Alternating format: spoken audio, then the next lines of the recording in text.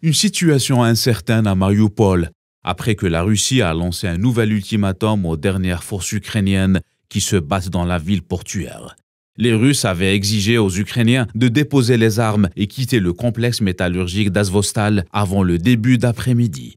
La défense russe accuse le commandement ukrainien d'empêcher la reddition de ses soldats à Mariupol, tout en précisant que tous ceux qui continueront à résister seront anéantis.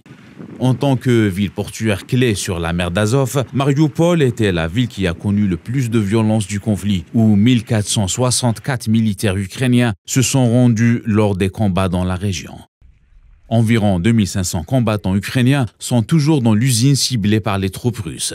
Même si l'Ukraine n'a pas répondu à cet ultimatum par voie officielle, Kiev insiste sur le fait que Mariupol tenait toujours. De son côté, le président Volodymyr Zelensky a prévenu que l'élimination de ses soldats ukrainiens mettrait fin à toute négociation de paix avec Moscou. Dans la région de Kharkiv, les frappes russes se poursuivent. L'infrastructure de la deuxième plus grande ville du pays a été endommagée par les bombardements, ce qui a poussé les habitants à prendre refuge dans l'ouest du pays.